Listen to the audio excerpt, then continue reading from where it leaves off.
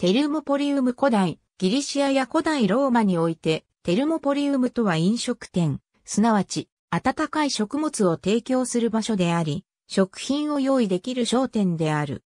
今日のレストランの先駆けでもあり、テルモポリウムでは近代でいうファーストフードも時折用意されていた。こうした場所は貧困層や自分の台所を持つ余裕がない人が利用しており、上流階級の人々からは時折軽蔑の対象になった。典型的なテルモポリウムは特有の礎石作りを持ったカウンターがある小さな部屋から成り立っていた。このカウンターには土瓶が埋め込まれており、ナッツ等の乾物を貯蔵するのに使われた。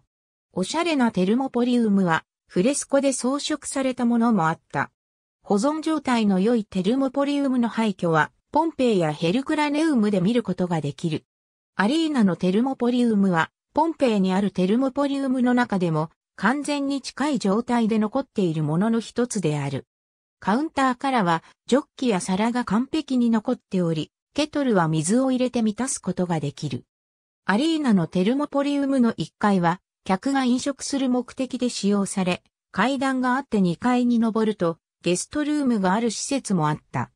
玄関のドアが通りに向かって開き、食物やワインを貯蔵する瓶を入れるための穴がある、カウンターがあるのが、典型的な建築構造であった。ラレース、メルクディウス、ディオニューソスを商売の最も重要な守護神として祀った。